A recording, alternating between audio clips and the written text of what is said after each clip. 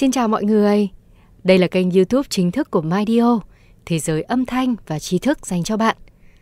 Video ngày hôm nay, mình sẽ giới thiệu đến mọi người một cuốn sách có nội dung thiết thực. Thông qua đó, các bạn sẽ có được những lời khuyên hữu ích để sống và làm việc có mục đích hơn và hiệu quả hơn. Đoạn trích sau chính là một phân đoạn rất sâu sắc mà mình muốn mọi người biết đến và cảm nhận. Hãy cùng lắng nghe với mình nhé. Bạn thành thạo lĩnh vực nào hơn, khoa học hay nghệ thuật lãnh đạo? Vì sao bạn muốn trở thành người đứng đầu? Ước mơ của bạn lớn đến chừng nào? Thứ hai, để lãnh đạo, hãy củng cố tình bạn. Vì sao tôi lại cho rằng bạn nên củng cố tình bạn trong công việc? Tình bạn là nền tảng của quyền uy. Tổng thống Abraham Lincoln từng nói, nếu muốn thu phục ai đó vì mục đích của mình, trước hết hãy thuyết phục anh ta rằng bạn là một người bạn chân thành. Những mối quan hệ tốt sẽ tạo điều kiện cho việc gây ảnh hưởng và tình bạn là mối quan hệ tốt đẹp nhất mà bạn có thể xây dựng với cộng sự của mình.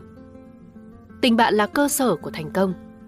Tôi tin rằng chỉ có thể đạt được thành công lâu dài khi có kỹ năng quần chúng tốt. Theodore Roosevelt đã nói, thành phần duy nhất và quan trọng nhất trong công thức thành công là biết cách hòa hợp với mọi người. Không có nó, ta hầu như không thể thành công. Thậm chí những gì đạt được cũng sẽ chỉ là giả dối. Tình bạn là điểm tựa để chống lại những sóng gió. Nếu có một ngày tệ hại, ai sẽ là người khiến bạn cảm thấy tốt hơn? Một người bạn. Khi phải đối diện với nỗi sợ hãi, ai sẽ là người mà bạn muốn cùng vượt qua? Một người bạn. Và khi vấp ngã, ai sẽ là người có thể vực bạn dậy? Một người bạn. Aristotle đã đúng khi cho rằng một người bạn thật sự là một chỗ dựa vững chãi, nhà lãnh đạo 360 độ. Đừng chỉ là một người cùng đội, hãy là bạn của những người mà bạn cộng tác. Thứ ba, hợp tác như một đội.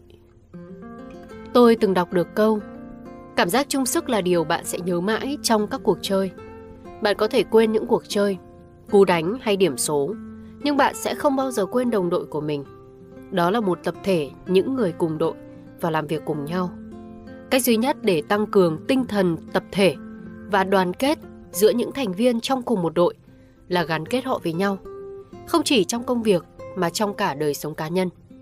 Có nhiều cách để kết nối với đồng đội của mình và kết nối họ với nhau. Đi cắm trại giúp các thành viên trong gia đình gắn bó với nhau hơn. Tương tự, các đồng nghiệp cũng có thể hòa nhập với nhau bên ngoài công việc bằng những cách thích hợp. Thời gian và địa điểm không quan trọng bằng việc chia sẻ kinh nghiệm chung giữa các thành viên trong đội. The 17 Indisputable Laws of Teamwork 17 quy tắc bất biến về làm việc nhóm. Hãy dành thời gian cho đội của mình và chia sẻ một trải nghiệm chung lý thú. Thứ tư, những người thân cận nhất với lãnh đạo. Trong hơn 30 năm trên cương vị lãnh đạo, tôi học được rằng những người thân cận nhất với lãnh đạo sẽ quyết định mức độ thành công của vị lãnh đạo đó. Câu nói này vẫn đúng khi mang nghĩa phủ định. Những người thân cận nhất với lãnh đạo sẽ quyết định mức độ thất bại của vị lãnh đạo đó. Kết quả tích cực hay tiêu cực trong công việc lãnh đạo đều phụ thuộc vào việc bồi dưỡng những người đó. Hãy nghĩ tới 5 hay 6 người thân cận nhất với bạn trong công ty. Bạn có đang bồi dưỡng họ không? Bạn đã có kế hoạch công việc cho họ rồi chứ? Họ có tiến bộ không? Họ có khả năng chia sẻ gánh nặng với bạn không? Trong buổi tập huấn đầu tiên, tôi giới thiệu nguyên tắc sau với các nhà lãnh đạo mới. Là một nhà lãnh đạo tiềm năng, bạn có thể là báu vật hoặc chướng ngại vật đối với công ty. Tôi đã minh họa cho sự thật này bằng cách ví von. Khi có rắc rối chẳng hạn một đám cháy trong công ty, với cương vị lãnh đạo bạn phải là người đầu tiên có mặt tại hiện trường, tay xách hai xô nước, một xô đựng nước, một xô đựng dầu. Ngọn lửa nhỏ ban đầu có thể sẽ thổi bùng lên thành rắc rối nghiêm trọng nếu bạn đổ dầu vào. Nhưng cũng có thể bị dập tắt nếu bạn sử dụng xô nước. Developing the leader around you. Bồi dưỡng những nhà lãnh đạo quanh bạn. Bạn có đào tạo những nhân viên thân cận với mình trong công ty thành người mang nước không? Thứ năm, xây dựng mối quan hệ cá nhân với những người bạn đào tạo. Mọi mối quan hệ cố vấn tốt đẹp đều bắt đầu từ mối quan hệ cá nhân.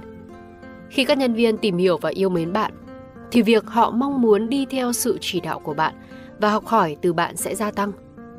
Nếu không thích bạn, họ sẽ không muốn học điều gì từ bạn. Quá trình đào tạo sẽ chậm dần hay thậm chí sẽ kết thúc. Để tạo lập các mối quan hệ, hãy bắt đầu bằng việc lắng nghe những câu chuyện trong cuộc sống hàng ngày hay những quãng đời đã qua của các nhân viên, vân vân.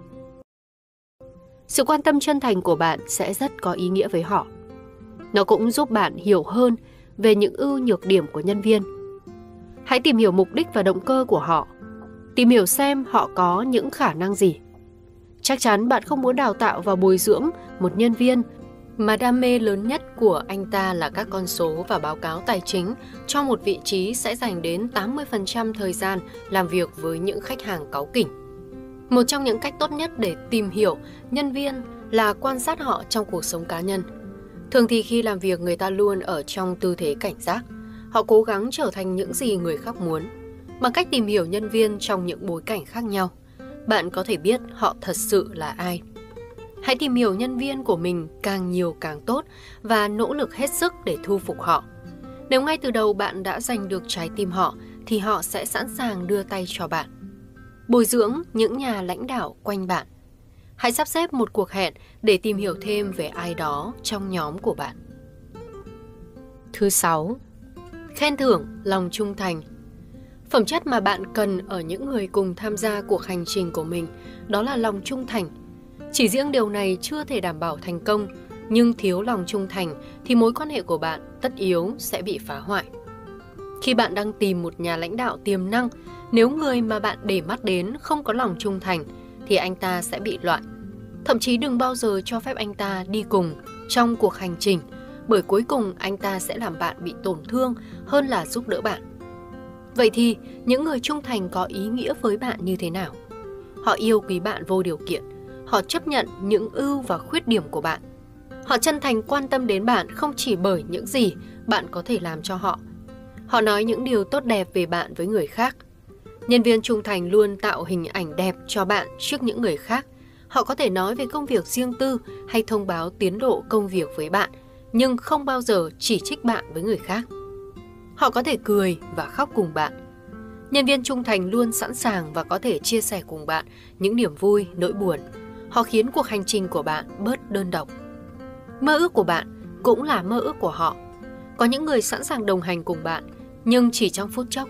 Đó là khi bạn giúp đỡ ai đó rồi lại tiếp tục đi con đường riêng của mình.